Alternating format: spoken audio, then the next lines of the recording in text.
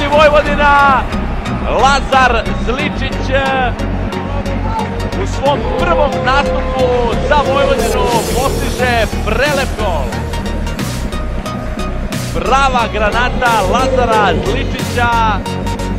Pogledajte ovo još jednom, ovo vredi vidjeti svakog mogućeg ugla.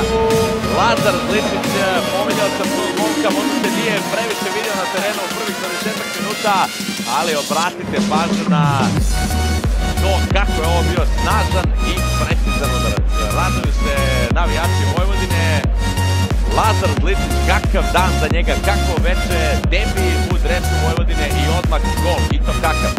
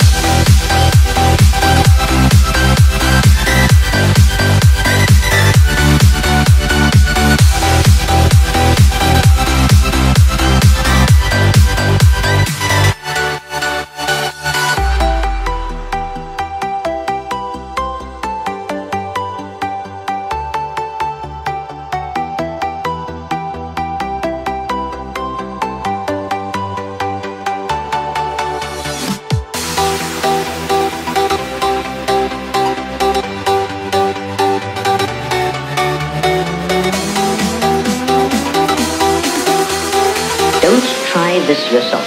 It's extremely dangerous.